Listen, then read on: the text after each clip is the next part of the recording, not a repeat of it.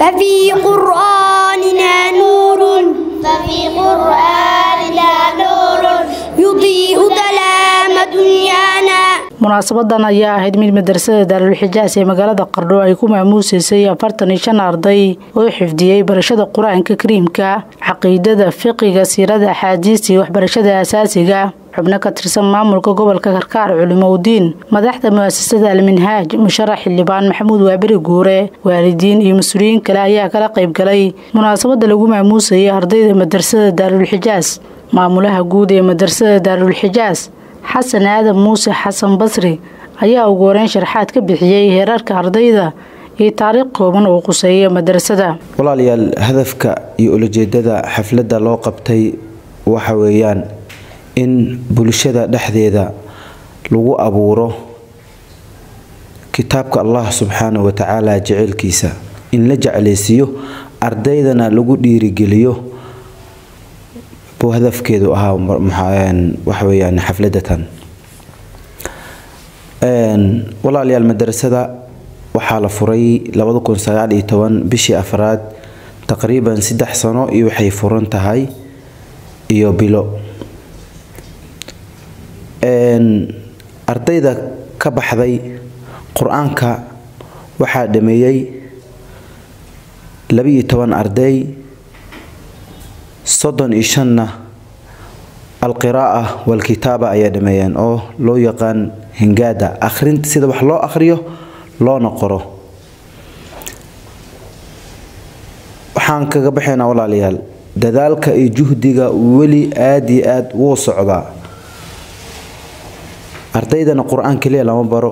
Caqiidada fiqiga xadiiska siirada nabigeena calayhi salaatu wasalaam yacni adiga kuuliyad yacni dhammaystiran yacni oo diiniya sheekh axmed yuusuf daad sheekh xaamed gudoomiyaha mu'asasada alminhaaj ee gobolka karkaar musharax maxamuud waaberi guure iyo mas'uuliyiinta kale ee ka hadlay xafladda ayaa bogaadiyay ardayda iyo maamulka madrasada ee soo saaray jiilasha cilmiga diinta ka dhisan waxaan fadhinaa makaan khayr.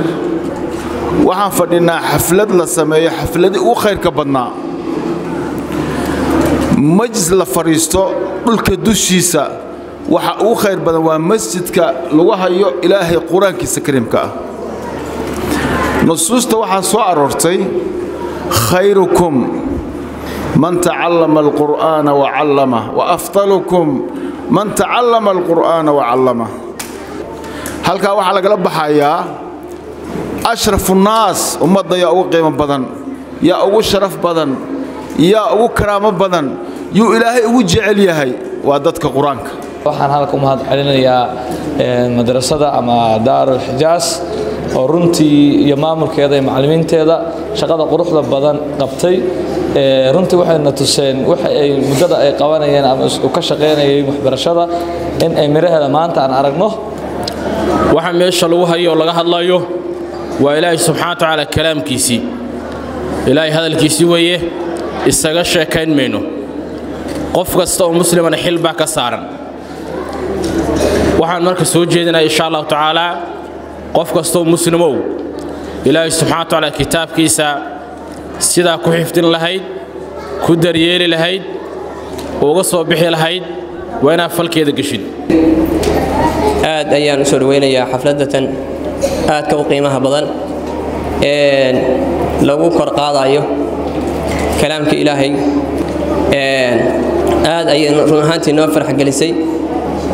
Ardaydatan maasha allah aadka loogu dadaalay. Quluubtu waa sida weelka oo kaleeto. Qalbigu waa sida weelka oo kaleeto. Weelka marka waxaa ku shubatid ayaa gala. Waxaa intaasi kadib xafladda ka hadlay gudoomiye ku-xigeenka gobolka karkaar cabdicasiis yuusuf caamir waxaana uu sheegay galabta waxaa aniga ii tahay galab qiimo weyn galab farxadeed galab aan la soo koobi karin waana ku faraxsanahay. Waxaan ugu hambalyeynayaa marka ugu horraysa ardayda yararka oon adeerada iyo abtiga u ahay iyo waalidka in ilaahay qur'aankay dhammeeyeen uu ku xafido quluubtooda.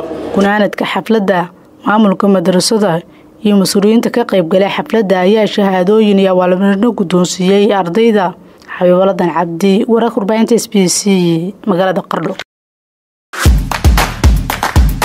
Abka dahab blas iyo casriyeynta adeegyada shirkadda dahab shell. Dahab blas oo kuu fudaydinaya islamarkaasina kuu koobaya dhammaanba baahiyaha adeeg ee edahab dahabbay iyo adeegyada shirkadda somtel mar kasta iyo mar kastaba ku isticmaal applicationka dahab blas